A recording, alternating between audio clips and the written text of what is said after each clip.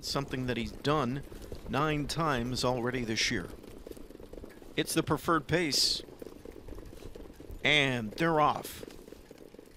And a good, clean beginning. First way down the center, right me Rose. Next door neighbor, Alleywag Hanover traveling out well. From the inside, there's Which Way to the Beach into third. Sliding in fourth goes a Buckabet Hanover. Parked out early fifth is Oakwood Arden as he is trying to figure things out. Drive on or take back, drive on it is. The opening quarter, Alleywag Hanover brushes to the front. Back into second, right me Rose. Which Way to the Beach third. Oakwood Arden land fourth. 27 and 1 that first quarter. A Buckabet Hanover fifth now. It's My Show sixth. Trailing seventh is Redwood Hanover. Field on its way to three eighths. Alleywag Hanover, the maker of speed, leads the way just over length in front.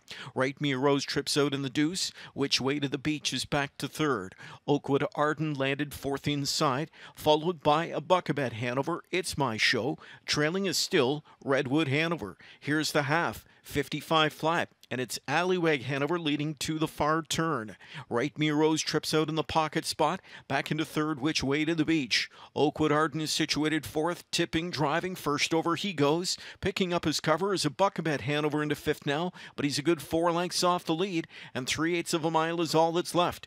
Alleywag Hanover leads the way. Second to the rail to Right Me Rose. First over is Oakwood Arden driving third. On his cover, a Buckabet Hanover fourth, three quarters in 122 and two two.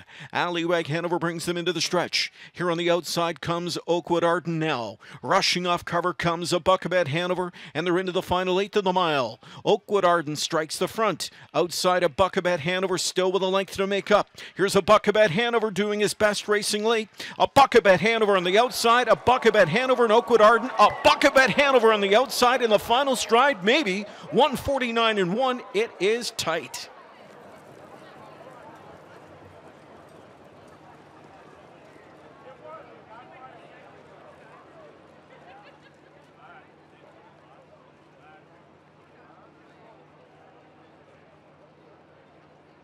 Here on the outside comes Oakwood Arden now. Rushing off cover comes a Buckabet Hanover, and they're into the final eighth of the mile. Oakwood Arden strikes the front. Outside a Buckabet Hanover still with a length to make up. Here's a Buckabet Hanover doing his best racing late. A Buckabet Hanover on the outside, a Buckabet Hanover and Oakwood Arden, a Buckabet Hanover on the outside in the final stride, maybe 149 and 1. It is tight.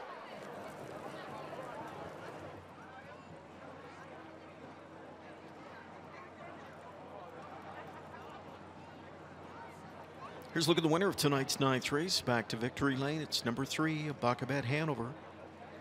Buckabet Hanover, six-year-old son of Betting Line, out of the Western Ideal Mare, all tucked up. Owned and trained by Andrew Harris, partners William Paul.